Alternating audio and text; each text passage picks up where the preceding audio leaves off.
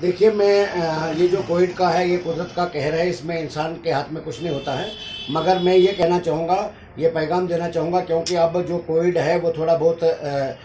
कमज़ोर पड़ रहा है। और इसमें कोविड को हराने में हम सबकी जीत हुई है। और अब मैं ये कह सकता हूँ क्योंकि ऑलरेडी कहीं यात्री की रजिस्ट्रेशन भी शुरू हो गई थी, जिसमें उस वक्त हमने ये डिमांड की थी कि छः लाख जो एलजी साहब ने छः लाख यात्रियों को अलाउ किया था रजिस्ट्रेशन के लिए, उसके लिए हमने बढ़ा के दस लाख के लिए उस वक्त ये डिमांड की थी। मगर कुछ दिनों के बाद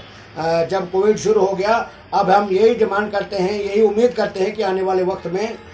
जो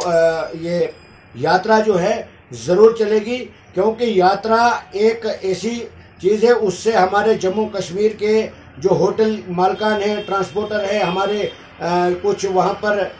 घोड़े वाले हैं काफ़ी लोगों को रोज़गार एक फराम होता है। अगर अल्लाह ताला ने भगवान ने भोलेनाथ की कृपा ने इजाज़त दी तो यात्रा चलनी चाहिए और इस यात्रा से पूरे देश में एक पैगाम जाता है जिस तरीके से कश्मीर की जो पहचान है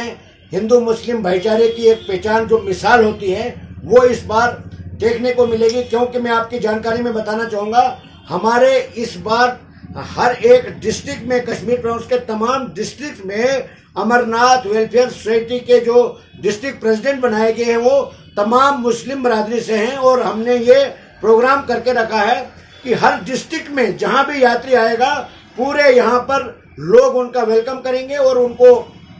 जो भी सहायता हमसे हो सकेगी, हम उनको प्रोवाइड करेंगे। और यही हमारा पैगाम रहेगा, जो भी देश से यात्री आना चाहे, यहाँ पर जम्मू कश्मीर कश्मीर में आ सकता है, बड़े आराम से आ सकता है, और हमारे जो यहाँ के हिंदू मुस्लिम भाईचारा जो है, पूरे देश में जाना जाता है, उसको हम ज़िंदा रखने के लिए इस बार एक मिसाल पेश करेंगे, जिसके लिए हमारा जम्मू कश्मीर जाना जाता है।